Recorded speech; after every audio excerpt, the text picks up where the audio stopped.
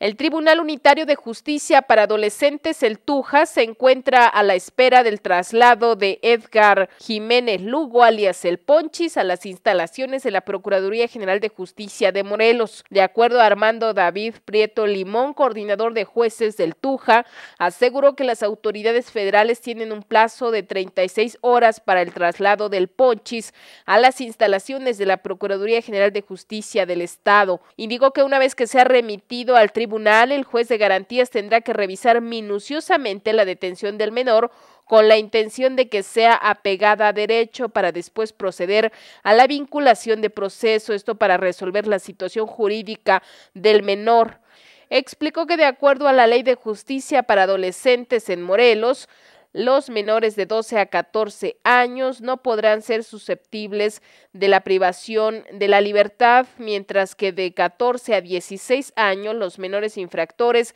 no pueden recibir penas superiores a los tres años de prisión y por último, de 16 a 18 años se contemplan sanciones máximas de 5 años de encarcelamiento. Claro, si se acredita esta edad y el Ministerio Público justifica la necesidad de que se le tenga privado de su libertad para preservar el proceso, el juez hará lo conducente y entonces se le internaría, repito, en caso de que se acrediten estos extremos, lo internaría en el Centro de Ejecución de Medidas Privativas de Libertad para Adolescentes, mejor conocido como CEMTLE. Con información de Erika Abraham, Minerva Delgado, Noticieros El Regional.